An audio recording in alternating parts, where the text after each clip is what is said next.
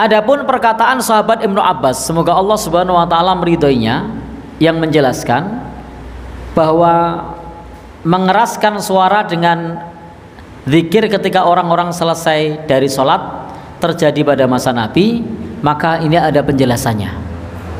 Jadi sahabat Ibnu Abbas pernah menyebutkan bahwa mengeraskan suara dengan zikir pada saat selesai sholat itu terjadi pada masa Nabi. Maka dalam hal ini Al Imam Ibnu Hajar menyebutkan Ibnu Battal mengatakan bahwa itu mengada-ada. Kemudian Imam An Nawawi berkata, Imam Ash-Syafi'i membawakan hadis tersebut dan menjaharkannya dalam waktu sebentar untuk mengajarkan sifat zikir.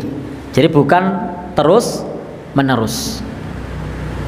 Jadi justru ini adalah dalil untuk mengajarkan sifat zikir, bukan terus menerus. Jadi e, riwayat Ibnu Abbas ini benar, tetapi untuk mengajarkan sifat zikir, bukan terus menerus dengan keras. Justru ini dalil kalau pendidikan. Tetapi kalau kemudian dilakukan terus menerus maka sebagaimana yang dikutip oleh Imam Ibnu Hajar bahwa ini adalah perkara yang mengada-ada. Kalau terus menerus